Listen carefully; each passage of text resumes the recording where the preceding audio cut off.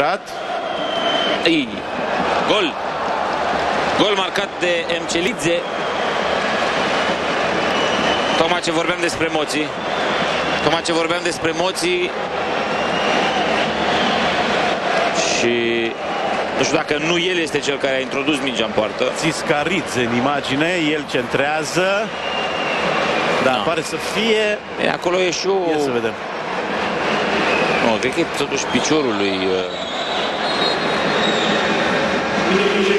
Da, mai degrabă e piciorul lui Mcelidze. Da.